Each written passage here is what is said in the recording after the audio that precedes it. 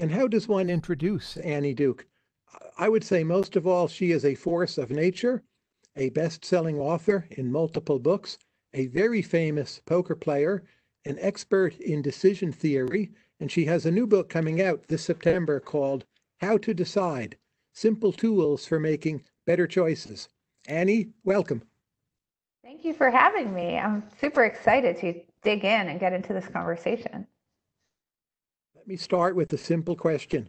How can we spot situations when thinking probabilistically is likely to make our decisions worse rather than better? How can we spot situations when thinking probabilistically is likely to make our decisions worse rather than better? That is such an interesting question. Uh,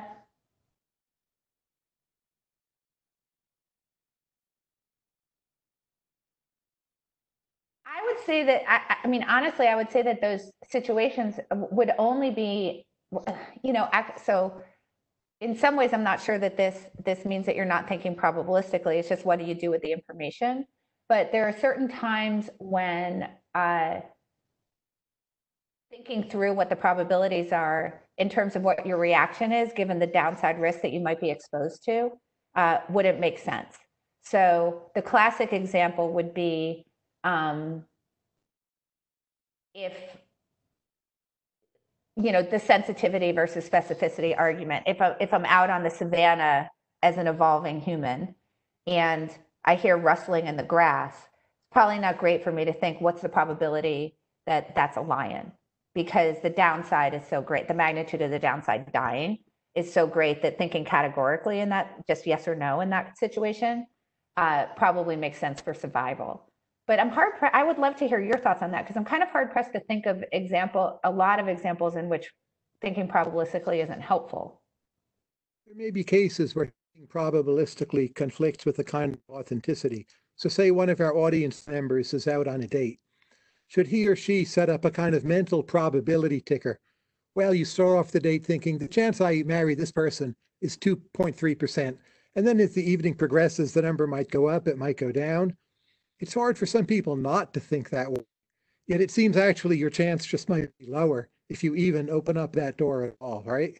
Well, so so actually, I love that example. So, uh, I think it depends on what your goal is, right? So if your goal is to find a great match, then I think that that's actually helpful because the fact that you're thinking that way means that you're more likely to be talking to somebody who is compatible with somebody who thinks that way.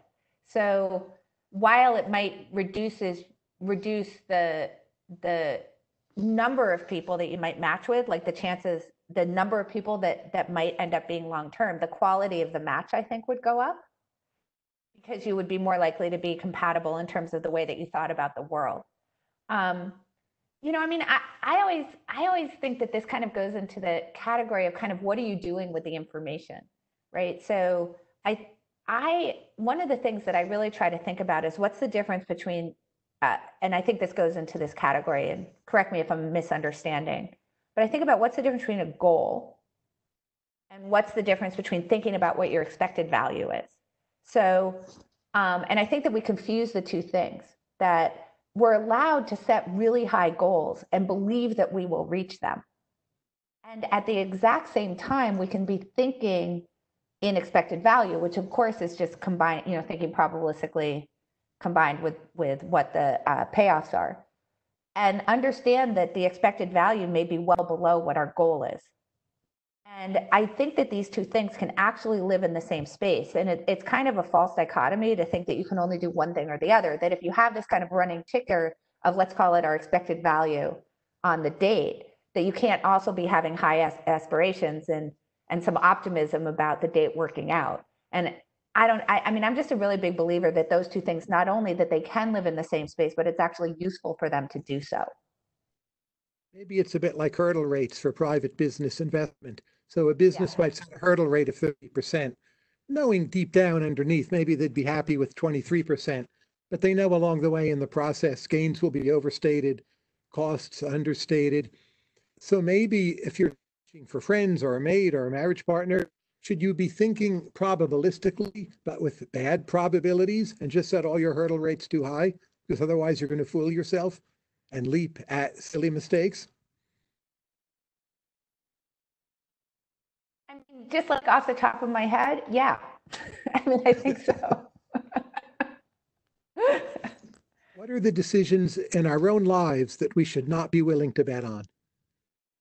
So you go to your friend, your friend says, Oh, I'll bet you on that. For which of your decisions should you say, No, I'm not willing to make you a bet on that? Like, will your kid get Princeton? yeah. Should you be willing to bet on that with your best friend? Uh, it depends on the friend. So, so this is something where I, I think that uh, it's actually really important in our lives to understand what the purpose of the interaction is. So there's certain friends where I would absolutely make that bet. Um, in fact, I can tell you a story from my own life, but this has to do with like, is, is this kind of part of what's going on in your group in terms of the way that you're thinking so that, that somebody, it, it doesn't actually jeopardize other aspects of the friendship.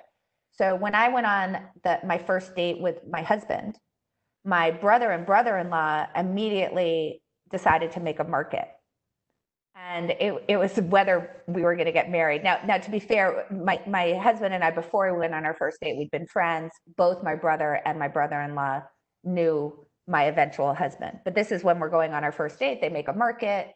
That i think that my brother-in-law ended up bidding 23 um, my brother then called me up cracking up that my brother-in-law had been 23 when we hadn't been on a first date yet. And I then started laughing at my brother, said, Well, that means you had to bid 22. Like, that was, what are you talking? Why are you laughing at him? Like, you somehow bid 22. It's our first date.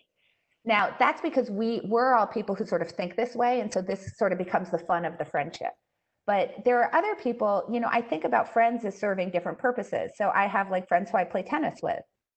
And if they're, if, you know, I would never make a bet with them about whether their child was going to get into a certain university, particularly if I was going to take the other side, you know, the side that they didn't want of the bet, because I think that people can interpret that as you think that that's what's going to happen, you know, because we tend to, you know, these things settle to one or zero. And so, you know, if, if I were to get on the other side of that, if I felt that the price was right, I, I think that they could interpret that as me saying, I think it's going to settle to zero. Um, and I don't think that that's good for some friendships. So I don't think that you need to bring everybody into your life into this type of thinking. And you can understand that different people bring different types of value. Let's say you're betting on sports teams. Should you bet on your favorite team or should you bet on a team you hate to hedge your utility? uh, well, okay. So personally, I I would only bet if I felt like I was getting the best of it. But that being said, I suppose uh, I suppose there could be isolated situations like let's say so like I, I'm an Eagles fan. So obviously it took a really, really, really, really, really long time for the Eagles to win a Super Bowl. When they did get to the Super Bowl, it might make sense given the fact that I can have different values. I can want to make money. I can want to have um, an emotionally good feeling. That's another way that I can experience a payoff. Um, it might make sense for me to bet to bet the other side, um, just so that I'm kind of I get I get some happiness even if my team loses. Um, I think when it comes to the Eagles, I don't know if that would be enough. I'm not sure what the number was they would have to win, where I would be happy that that team lost. So I guess you'd have to figure out what that what that indifference point is. Um, but yeah, I mean, I can see, I mean, I, I, think that that's an important thing to think about, right? Payoffs aren't always monetary, they're sometimes emotional. So uh, sometimes you can hedge the emotional downside with the monetary upside. And I guess you could figure out what the indifference point is to that. But is there a limit to this process? So I think a lot of people would be reluctant to bet on their own divorce. No one would say, well, I've hedged my position. On the other hand, the exact same people are happy to buy life insurance and they think of that as noble, right? And they say, Yeah. oh, well, I've hedged my position. I mean, what's exactly the difference that accounts for the things we're reluctant to bet upon? So well, that is such a great, that's such a great question. Um, so I think that uh, there, there's a couple of things going on with that. Um, I, I think a little bit of it is magical thinking, which I'll get into in a second. Um, I think a little bit of it is is this kind of strange thing about hedges that we're we're obviously hoping that we never have to use them. So uh, when we do, I think that often uh, then in some ways we're happy, and then when we don't have to use them, I think we're sad that we had those positions on in the first place. So I kind of what I think is that there's certain things there's certain things about us and certain beliefs that we have that are very very central to our identity. So when we think about something like fire insurance on our house, you know, what home we live in in terms of that kind of choice and whether it actually burns down, that feels like very much like a matter of luck that's happened to us. And so we're allowed to kind of offload that. So I think it's easier for us to hedge against it because we're not feeling like um, that we did anything to make the bad thing happen. And so it gets sort of out of the emotional space because we can kind of offload it to luck. But when we're talking about something like our marriage, now it has to do with like, what's our commitment? What's the commitment that that person has to us? And that now goes into this area of things that we're making decisions about, things that have to do with who we are personally. And I don't think we like to hedge very much against our identity. Um, and I and I think that on top, so so I think that on top of not wanting to hedge against our identity, because we think of our identity as very categorical and very like that really gets into that emotional space about who we are. But I think that on top of that, we have this kind of idea, and, and this goes into some of my quibbles with things like the power of positive thinking, which ultimately sort of realizes into the secret that we have this idea that if we do hedge against something, that somehow if the bad thing happens, we caused it and this is particularly problematic in, in situations that do have very high emotional valence. So, you know, I mean, obviously the, the, he, the hedge that you would put on on your marriage is to have a prenup. And we, we know that only about 5% of married couples end up with a prenup and, and people are very emotional about that and they're very against it. I think because they say like, are you predicting I'm going to fail? It, it's a little bit like the betting problem, right? Are you going to, am I going to bet with you about whether your child gets into Princeton? That um, if you have a prenup that it feels like not only are you predicting that you're going to fail, but then if the failure happens, that perhaps you caused it in kind of a magical thinking kind of way. Um, but this goes into this category of like, how can you be a good decision maker if you're not really thinking about the negative outcomes that could occur and then trying to get out in front of those in a variety of ways, one of which might be to hedge. And one of the issues that I have with the, the literature and the power of positive thinking, which I think ultimately expresses itself through the book The Secret. Are you familiar with the book The Secret? Yes. Okay. So I think it, it like ultimately expresses itself through The Secret is that it's this idea that if you imagine success, it shall happen. And if you imagine failure, that that also shall happen. And what the mechanism of that is unclear. And of course, The Secret ends up positing this very strange, you know, this really kooky mechanism, which is like your thoughts have magnetic power that actually attract the things that you're thinking about to you. So if you think about a traffic jam, you'll end up in one, which is obviously really kooky. But I think that that's kind of how the human mind works. If I enter into a marriage and I do put the hedge on, which is a prenup, I think that that the way that our minds work, it says, okay, now I'm going to cause that to happen. That somehow that's saying that I think it's going to happen and I'm going to cause it to happen as opposed to just saying there's all sorts of negative routes that your life can take and you're more likely to have success if you can think about what those routes are and actually get out in front of them. I'm not a gambler myself, and I don't understand gambling very well, but maybe you can explain it to me. I read an article in the paper today that many gamblers are now betting on shark migration patterns because a lot of the horse races are shut down, dog races are not running. Shark migration patterns. That seems to me also a zero sum game. Why don't you all just bet on equities, which at least we hope is a positive sum game? Like, why do these zero sum games exist when there's this one huge, really quite liquid positive sum game? And I can get as excited about a company as about a horse, right? Yeah. So, well, first of all, I haven't played poker since 2012. So, like, I'm definitely not betting on shark migration patterns over here. Um, you know, I mean, I think, I think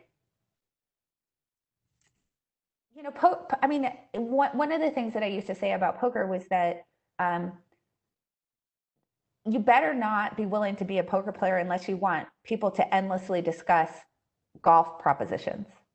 So a, a lot of poker players play golf and um, they're always like trying to figure out like how many strokes aside and are we playing a Nassau or scramble or whatever. And there's endless conversation because they basically want to turn everything into making a market. Um, Become detached? I, you know, I don't, I don't know that it's, I, I think they just like the action. And I think that to your point about the zero sumness of it all, I think they really, I, I think they really want to say like, if, if you state a belief, I might be on the other side of that.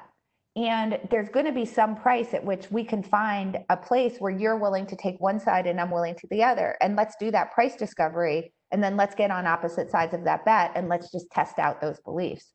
And I think it's it's just a particular mindset. And they become somewhat detached to, I think they become somewhat detached from sort of whether that's zero sum or not. Now, I think that you may know that there's actually quite a bit of crossover between people who are trading equities and poker players. There's lots and lots of poker players who have have become options traders, for example, or people who are who are trading um, financial instruments.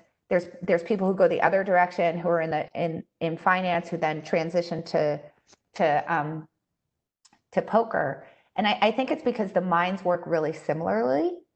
Um, you know, so uh, you know, I'm sure that what happened was somebody found read something about shark migration patterns, you know, said it out loud to a bunch of people who play poker, and immediately they started making a market. You know, in the same way that my brother and my brother-in-law did. If You know, gamblers, it's, it's price discovery. It's Yeah. fun. if gamblers cultivate detachment to be better at gambling and not so emotional about it, does that mean when they win, they're not that happy? Like, how does a gambler stay happy and stay rational at the same time? Isn't there a trade-off? Hmm. Uh, That if you enjoy risk for its own sake, you'll go broke. But if you don't enjoy risk for its own sake, what are you doing playing these zero-sum games? Yeah, so um you know, I- you know, the, the thing about poker that I think is really interesting is that I think it, it actually is a very small group who actually figure out a way to be happy. And I think it has to do with what exactly is it that you're trying to get out of the game. So I think that the people who find a way to be really happy are the ones who are really interested in trying to figure out how to solve the problem of making decisions under that kind of extreme uncertainty. And how are you actually how are you actually figuring out given given the environment that you're in and the information that you have, how do I build a really good model of my opponent? How do I figure out um, given my model of my opponent, what the appropriate line is to play. And you become somewhat, I think, in that case, indifferent to the win or the loss. And it's really about it's really about the game itself and solving the problem of the game.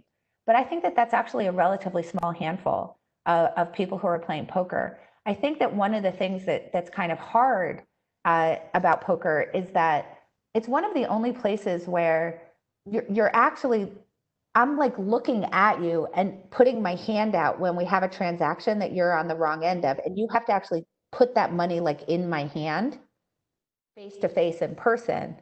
And not only that, but in order for poker to really be fun in general, people have to be playing for an amount of money that matters to them. So by definition, when you lose, you're having to do lose in this very personal way where you're actually handing the money to me directly and it's by definition an amount of money that really matters to you and i think that that can actually make people pretty sad and if you're sitting at a poker table you're like oh yeah loss aversion is definitely like yes. I mean it, it, you you just see these examples of it all the time where there's this huge asymmetry between how sad people are when they lose versus how happy they are when they win. And you know i think it's one of those things that unless you're really focused on process and i think this is a lesson sort of like for for all of life right? Like the way to happiness is to focus on process and then the winning sort of becomes a you know sort of secondary to that. It becomes a way to keep score on on how you're doing on the process piece and to really focus on that as, a, as opposed to focusing on the end result which is what what does the chip exchange look like at the end of the day i think if you can't do that i think that you're just not going to be happy playing playing the game frankly What made you most happy about poker, other than just winning, of course, but the process? Yeah, you know, so there's a few things that made me really happy when I was playing. I, I think one thing is, you know, I had come out of this PhD program in cognitive science where I was really studying learning. And poker is just a different way to study that topic that's really, really powerful as a laboratory for thinking about human decision making, not just about the way that other people make decisions, but it really kind of exposes you to the way that you're thinking and and and in a real way how hard it is to avoid decision traps even when you're perfectly well aware that those decision traps exist. And how easily how easily it is for how easy it is for like your mind to slip into those traps. Like you know as an example like i went into that environment knowing full well about self-serving bias that that we tend to attribute good things to our own skill and we tend to attribute bad things that happen to us to luck and and i knew that that thing existed like i had studied it and yet when i was at the table it's so easy to convince yourself that you've lost because of bad luck and you've won because you made great decisions. And and you're just sort of rinsing and repeating. So one of the things that I really loved about the game was the way it, it, it sort of exposed that to yourself in a way that you, in a lot of ways, it was kind of hard to hide from because if you if you weren't seeing that clearly, you were going to lose. And so not only did it kind of expose that, but then you had to start to figure out like, okay, so how how can I at least reduce the impact of that? which was an ongoing self-discovery process um, of trying to figure out how, how to reduce the impact of cognitive bias.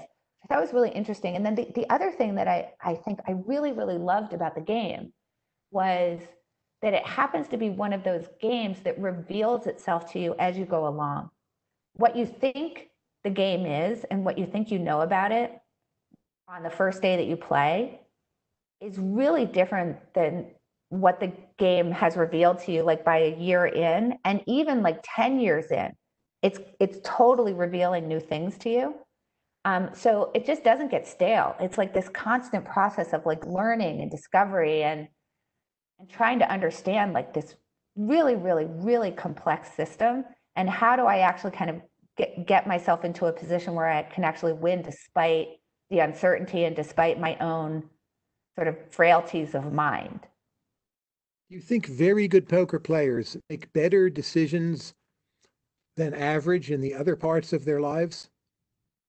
Like, is there transfer of learning, or are they just sort of unhappy train wrecks? you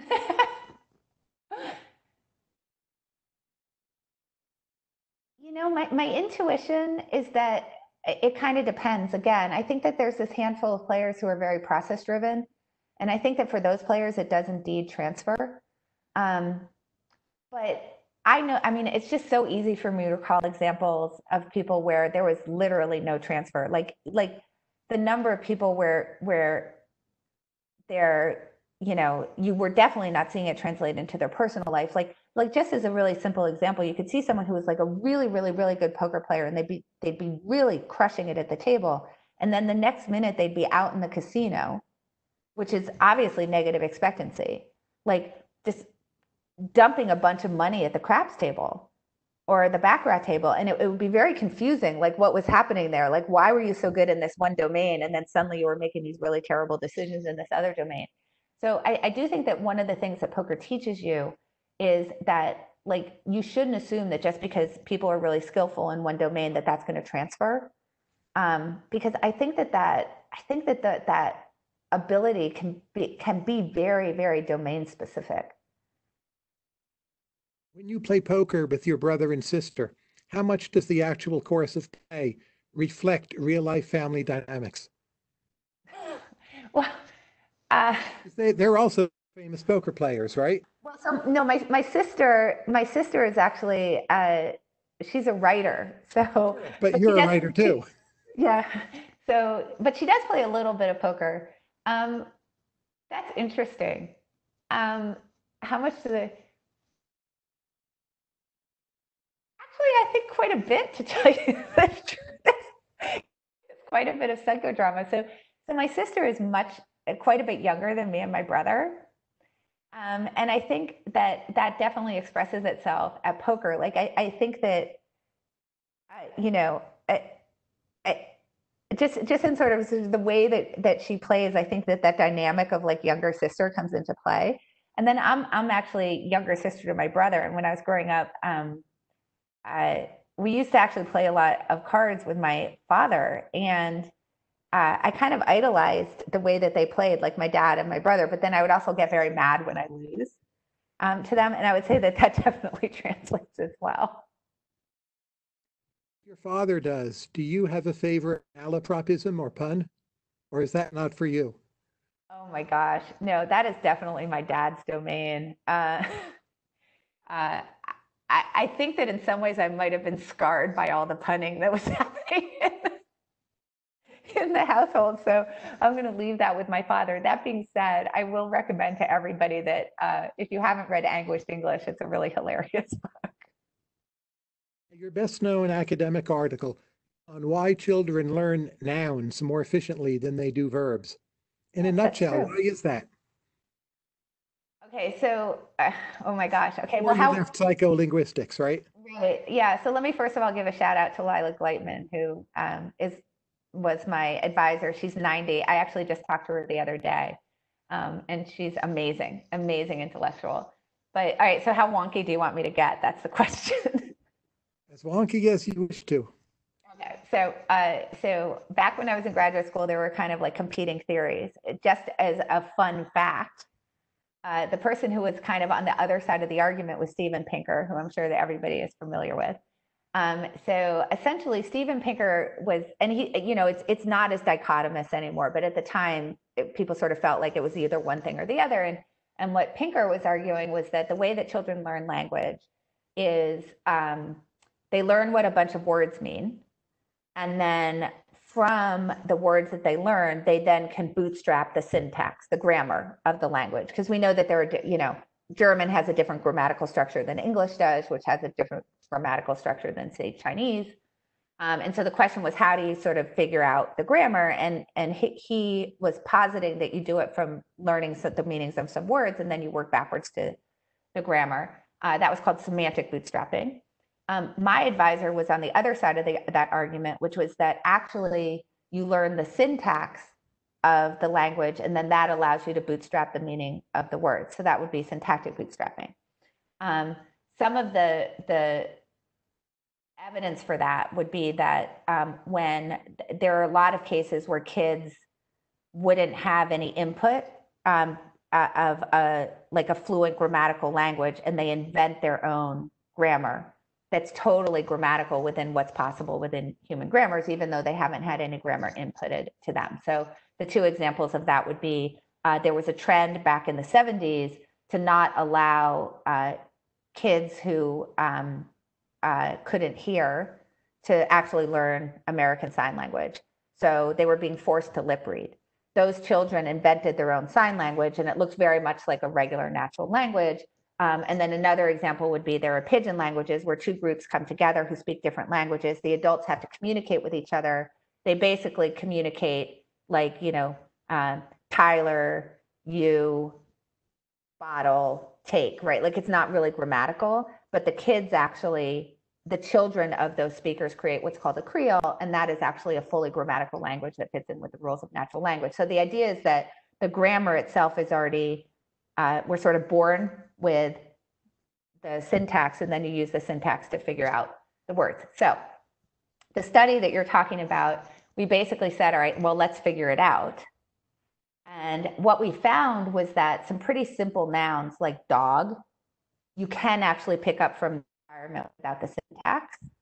But uh, nouns that that that are not about concrete things out in the world, like dog, you actually can't really get. So a noun like um, thought would be hard. Like, what is thought? how can you see that? You can't point to it, but you can point to dog, and, and people will figure out what dog means. But um, verbs actually to do unless you actually have the grammar to support it. So it turns out like kind of everybody was right. That the idea is that you learn a few basic nouns like dog. Um, that helps you then figure out something about the grammar that you happen to be born into. And then once you have that grammatical structure, it allows you to start bootstrapping very quickly all the other words. That was really wonky, but you asked. So when you beat people at poker, to what extent are you winning because you read their language better because you've studied psycholinguistics? Uh, pretty much not at all.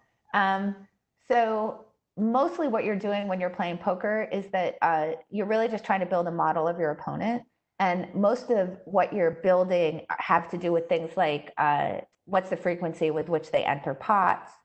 Um, when they do enter a pot, in general, sort of over time, you start to figure out what's the range of hands that they would be playing in different positions for them, like what what's a what's a playable hand, so that you can sort of narrow, you can sort of throw out some possibilities and start to narrow down those ranges. They all have perfect poker faces, forgive use of the expression. You can't look at them and feel, well, I think this person's bluffing. No, they, they definitely don't have perfect poker faces. But um, so let me put it this way. Most of the time in poker, the the the market's really wide. So so uh, all right, so let me figure out how to explain this. Okay, so tells things like you know, let me look into you know, let me look at your eyes and see what you're doing. Um, they're people definitely show them, but it's not necessarily the most reliable information, particularly because in order to pick the tell up, you have to be staring at the human being, and human beings in general don't like to be stared at. So Here's what they, their opponent. They don't like to be beaten Yeah. either. Right. Except that the problem is that really what you're picking up. So when people are bluffing, they're uncomfortable. And so when you're sort of seeing these these physical tells from them, what you're seeing is signs of discomfort. But if you stare at somebody too long, they'll be uncomfortable. And so you're sometimes when you see some of these things, you're not exactly sure is it they're just uncomfortable because I'm staring at them, or are they uncomfortable because they they're bluffing and they're not comfortable that they're bluffing. So that that's all I'm saying. It's like there's there's a little bit there's like there's noise in in poker tells. So But if you're right fifty-one percent of the time, Right, so That's that's exactly, right. So the reason when you use tells, the, when you would use tells is when the decision is very close. So you would use tells as a way to sort of tip you from one side or the other. So, uh, so, so what I mean by that is like, let's say that a situation comes up where um, the pot is laying you like three to one. So if the pot's laying you three to one, you only have to win the hand 25% of the time. And that's actually a relatively low bar. Like if I'm playing only against one other person, like the chances that I'm going to win over 25% of the time are pretty good. So I don't actually have to think too hard in that situation about whether whether I should play that hand. But sometimes you get into a situation where um, I have to win the pot 25% of the time, and that's actually right around where my market is sitting. Like I'm like, oh, that's pretty close. Then tells can come in handy because there's sort of extra information that that can allow you to tip over onto one side or the other of your decision. can you read men better or women better?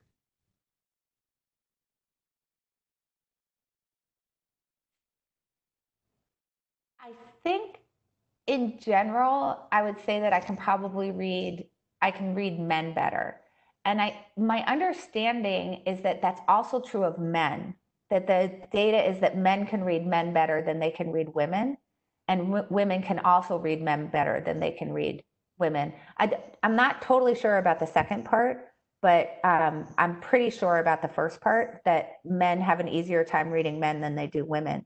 Um, the, the other But thing. What's wrong with us? What's wrong with we men? Are we too vain? Are we too boastful? Are we too sloppy with our countenances? In What's my d- case, right, in my case, it could be that only 3% of people who play play poker at the level that I was playing are women. So I just had a lot more experience reading men, which could be what it was. Um, so that's possible. Um, no, I think there, I think that there's, you know, I, it's been so long since I read that literature, but, but I think that um, men more reliably show that information. But I feel like it's been so long since I read that literature. I don't know that I have anything that would be valid to say about it. Let's try some rapid fire questions with quick answers. First one, New Hampshire or Vermont? Oh, New Hampshire. I mean, I grew up in New Hampshire. I have to be loyal But Vermont's prettier. Why, why is New Hampshire better? because I grew up there. Like, I have to be loyal to my home state. Also, I'd just like to say Lake Winnipesaukee is pretty awesomely beautiful. Contract bridge or blackjack? Oh, for me, contract bridge. Why? Uh, you know, blackjack, I think that blackjack is kind of boring. it's very rote. I, mean, you know, if you're not counting, if you're not actually counting the cards, you know, you're really just kind of playing basic strategy, which means that there, there aren't really a lot of decisions that, that are to be made that wouldn't be pre-made. Like, it's not like a fluid game where you're having to adjust to kind of like what's happening around you. Like you can literally, someone you can walk into the scene, casino and someone can hand you a little card and you can follow that card, right? Which is, isn't very, and then if you're, if you're counting, the card's just kind of like more complex, but it's still very rote. So, you know, with bridge, it's like, gosh, bridge is so amazing. It's like, how, how, how are you thinking about the way that you're playing your cards and to, in order to figure out where the king is sitting, right? Or the ace is sitting, right? Like, oh, I love that game. Option futures. Oh, well, for me, options, just because like I, I think I understand them better.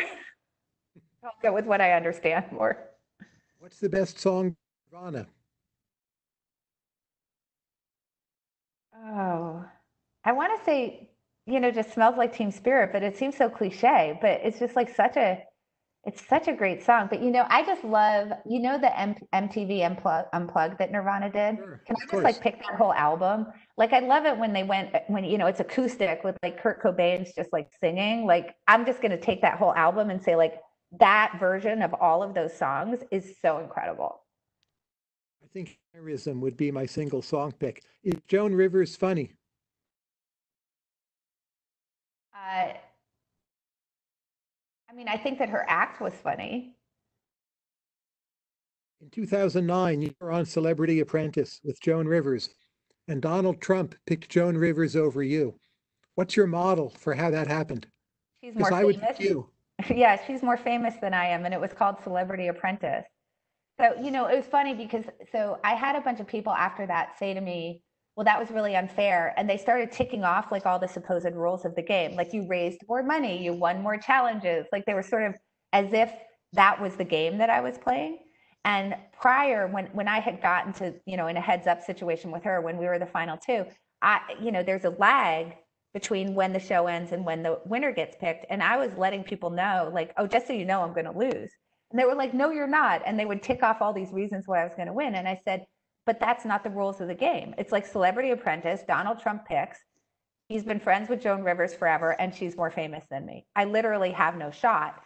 And no matter what you think the rules are, um, those really aren't the rules because it's like reality TV. And so he's just he's just gonna figure out a way to pick her. And I, you know, I was pretty clear about that. That actually, I wasn't particularly upset by it because I kind of understood that that was kind of the game that I was sitting in. I was upset by other things, but not by that. I don't contend this is a political question, but what was Donald Trump like? Um, so basically, probably whatever your viewpoint of him is now would be very true to what he was like in person. Does he have tells? Oh, for sure. Yeah, absolutely. So you think you can one can just read him flat out in obvious ways? In, in some obvious ways, yes. I mean, so, some tells some tells are very, very uh, easy to read and reliable. So, so I was talking about some of the more su- subtle tells, like once you kind of get to the the expert level of poker. But like as an example, like there's a very reliable tell when people are new to poker that I would use every single time. Like it would actually move my market by a lot if you did this. So, so as an example, there's something when people are new to poker, um, which is strong means weak and weak means strong. So when a player like sort of like puffs themselves up and like takes their chip to bet and they really like they grab their chips and it's like a big motion and they sort of like very forcefully put those chips into the pot. If it's a new player, they're almost always bluffing in that situation. But if they like take their chips and they're like as gentle as a mouse, they're like, "Oh, look, I'm betting. Don't pay any attention to me. I'm just going to sort of quietly slide my chips into the pot." Usually means that they're very strong. Now, now that particular tell goes away pretty quickly. So like when I was saying like tell, it's very hard for tells to like really move your market a lot. I was I was talking about expert players, but if you're talking about a beginning player, tells can actually sort of make your market. Like they they're, they're like they can really tell you something incredibly significant. Um, so yeah, I mean, I, I feel like he's got some pretty strong tells. If only poker players voted, how would policies change? How would politics, how would the country be different? It's not a question about party affiliation, but about how poker players think.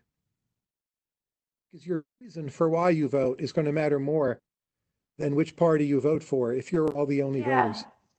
So, so I, I, you know, I think that I, like I need to understand what you mean by a poker player because there's all sorts of different types of people who play poker. Do you mean like, the, the top 500 poker players, you all vote. Uh, does the country change? um, I think that Decisions do we make better? Because you've already said these people are not necessarily better at happiness. They don't necessarily transfer the learning. Would it just be the exact same country? Would we somehow take more clever risks in foreign policy? Would we read the tells of, you know, Putin and other yeah, leaders? my suspicion. So my suspicion is that if only the top 500 poker players voted, um, policies would people would be thinking a lot more about edge cases, like where things could go wrong. Um, for sure, because poker that's poker players just are obsessed with that. Um, I think that uh, there'd be more long term termism as opposed to short termism. Again, because you have to sort of be obsessed with that as a concept.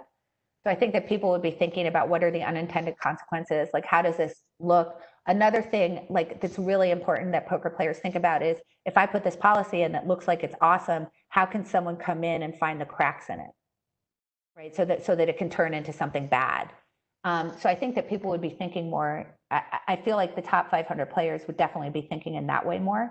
So uh, assuming that they wanted to use their powers for good as opposed to evil, which we'll assume, um, I feel like in general policies would be would be better, less easy to be advantaged, more thinking more long term, definitely more willing to take re, you know risks that were worthwhile. Um, yeah, I mean, I, I feel like things would be better. Say the top 500 people in finance were the only voters. Putting aside policy toward finance, do you think it's basically the same answer or somehow different? Well, again, I mean, with both groups, I'm assuming that they're trying to do good and not do right because obviously you, you can be thinking about any of this. Yes, I, I I think that that is true as well. Why are there so many casino scenes in American Western movies and James Bond movies? Gambling scenes, baccarat, right? Slot. You know, I mean, I think it's probably it's probably similar to the to, to the. I feel like it's a little similar to, um, you know, why do people play, play lotteries? And also, sort of, what is the image of like a gambler in America? Like, first of all, I think that America likes to think of itself as like really idolizing like risk takers. Um, so I think it sort of shows like James Bond, James Bond is a risk taker, but he's very smart. But you know, I think that it, you know, a lot of it has an association of glamour with it, which is pretty hilarious if you've ever seen people at a poker table. Um, but uh, you know, I mean, I think they sort of think it's glamorous, and then also I think that there's just a certain amount of fantasy. Like maybe I could be in that position and I could like win big, or if I had enough money, I could bet that amount of money. And I and I think it's fulfilling a lot of like, there's like some wish fulfillment. Why has poker stayed culturally such an American game? So if you go to Macau, poker is not nearly as big a thing as it would be in the United States. What's the cultural barrier? Why is it not such a universal game? That's it. Well, so yeah, so it's so funny because I, I think about that. I think about poker as a pretty universal game because when, you know, certainly when I was playing, there, there were, you know, there were, you, you would be sitting at a table and there were people, you know, Chinese, Vietnamese, Korean, German, French, Italian, Spanish, Russian, right? I mean, it really kind of drew people from all over the world into the game. But I suppose maybe that it maybe drew them into whatever the American version of the game. Although there's the European Poker Tour, and there is poker in Macau. An interesting question. Like I've always kind of thought of it as very international, but um, if it's not, and because obviously I'm thinking from the inside view, right? Like I was living in poker, which seemed like very multicultural when I was playing. Um, If I went to a random get together of Taiwanese men in a mid sized Taiwanese city, I would be shocked if they were playing poker. Maybe it's Mahjong, I'm not even sure. Some some other game with tiles, some other form of betting. Whereas in the United I- States, I wouldn't be shocked by seeing poker anywhere. Yeah, I guess that's true. Uh, gosh, I've, I've really never thought about this. Um, you know, I think that I think that every I, I, I m- every culture has some sort of form of gambling, and for whatever reason, I feel you know these you know poker became sort of part of the lore of the old west. You know, and it, it was a way that that we gambled. But I don't know. Can I ask you a question? Like, are there people who who like, for example, mahjong? Are there people who like make their living playing mahjong? I don't even know. I believe so. I'm, I'm not, not an expert in the matter, but yes, I, I think wherever there's gambling, There are people who are chess, making. people make their living from gambling in chess. And that's an absurd Yeah. gambling game because who's ever better is evident very quickly, right? Right, which is why speed chess. So, so speed chess allows you to feel like you got unlucky. That's why that the real money is made in speed chess. Um, uh, you know, the the other thing, of course, is that I guess in chess you can negotiate. Like, you know, you, you start with two pawns fewer than I I get. You know, so you, you can actually figure out whatever you can try to negotiate what the tipping point is. Same in golf. Yeah, I, I'm just gonna have to say I don't know there. I don't, you know, it originated in France too. So I don't, I don't, I don't know. That's a really good question. Let's call it a stumper. How smart are those like top 500 poker players? Just as humans. Oh, they're, they're, I mean, brilliant. Mo- most of them, not, not all of them, but almost all of them are brilliant. And that doesn't necessarily mean like they're, they're incredibly well read. I mean, not all of them are. Um, you know, not all of them would have like sort of a traditional education, but they're all, they're all ridiculously smart. Uh, not all, I think but they- most. I think they could have done other wonderful things and there's some kind of potential social loss? Or being a poker player was the highest avocation and they have some kind of strange personality asymmetry where say they wouldn't have made a great CEO, they couldn't have been an inventor, couldn't have done this or that. And like chess players, they end up as poker players. Or are they multifaceted and it's some kind of shame that they were not out there being great in some other role?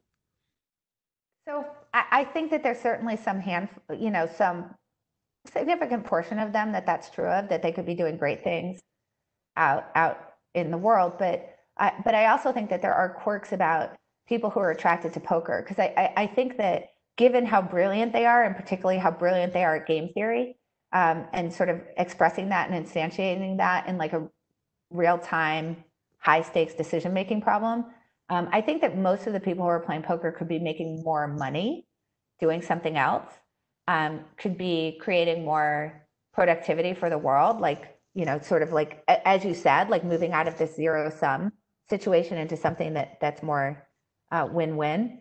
Um, but I think that there is something in general about who's attracted and willing to sort of take a haircut to go play poker, right? In order to do that, that has to do with this sense of sort of independence and not necessarily fitting in with what kind of the norms of society are. So there, there's a story about a very famous story about um, uh, there was a poker player, a really good poker player, who decided that they wanted to actually try trading instead. So they got a job um, with a firm to go trade. And the first day, uh, they didn't show up and they called in at like, I think 11 in the morning or something and said, I'm sorry, I, I can't take this job. It's just too early. Like they just, they just would not, they just didn't want to get up that early.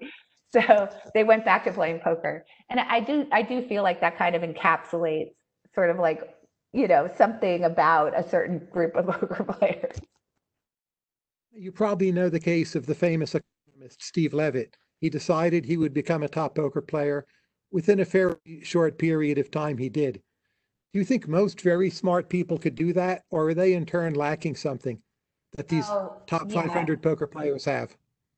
Yeah, no, I don't think that most just sort of generally very smart people could do it. I mean, What obviously. stops them? What are they lacking? Well, first of all, I just want to take this moment to tell everybody to go get Maria Konnikova's new book, The Biggest Bluff. Super smart, PhD in psychology, decided she was going to learn poker to try to understand uh, uncertainty better and, and the influence of luck in your life and manage to become a champion. Um, and her book is a really wonderful sort of like it's like a memoir, but it's also a real meditation on on luck and uncertainty and its influence in your life and game theory. And it's it's really an amazing book. It actually just came out on Tuesday. Um, no, I, just because you're smart doesn't mean that you could that you can become a great player. I think that you have to be smart in a very particular way. Um, and it would be the way that somebody like Steven Levitt is smart or Maria Konnikova is smart. I think that there's What a certain way? Yeah, there's a certain. feel I- I don't have it, though I've never tried. But wh- what is the way? What am I lacking?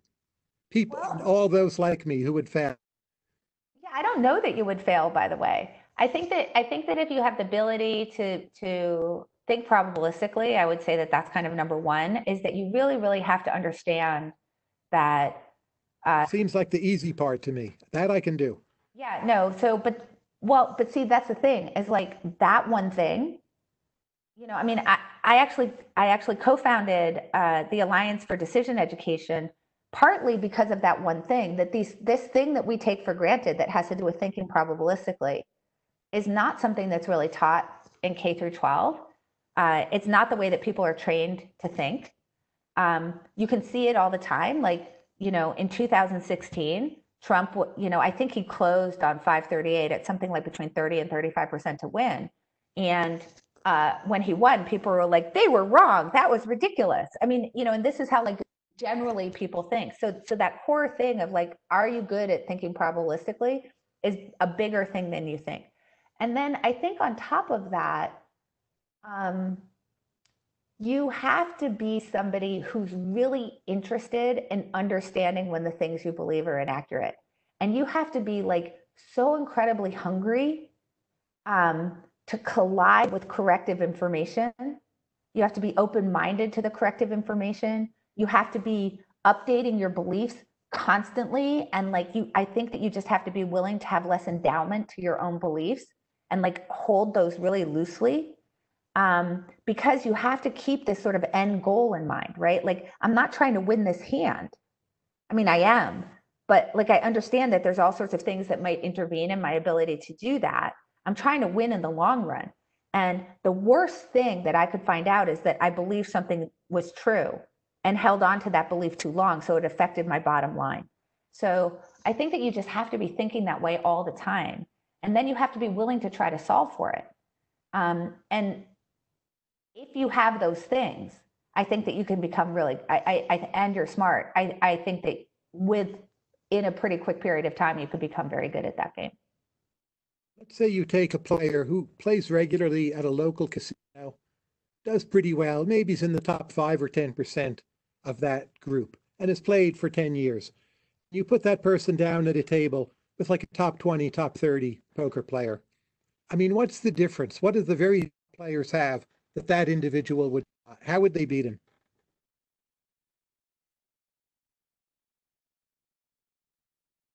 Oh, it's it's such a combination of things.